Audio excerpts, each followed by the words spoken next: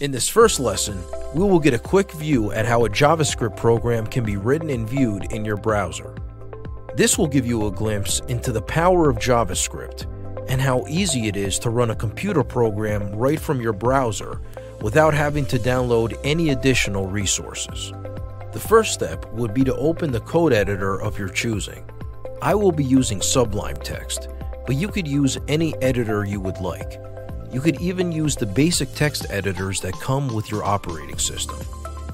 For example, if you have Windows, using Notepad would be perfectly fine.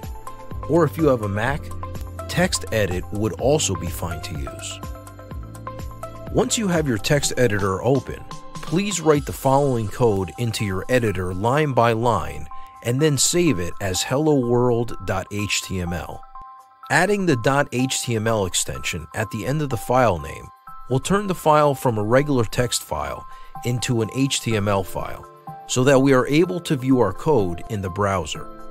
Again, it doesn't matter what text editor you use. As long as you write your file name followed by a .html, your file will become an HTML file. Please pause the video now so you could write the following code. You could also find this code in the description section of this video.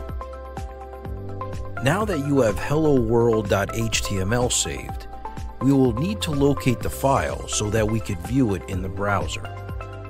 But before we do that, it is important to note that where you save your HTML files will be critical to your success, as you will be creating many files and you want to stay organized.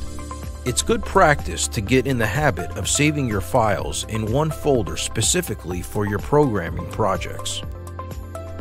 After locating helloworld.html, go ahead and double click on it. If all goes well, your default browser will launch with a web page that says Hello World. If you get an error message or see a blank page, review the code again and see where you made a mistake. Make sure you get every line of code correct and make sure that you save the file as .html. And there we have it.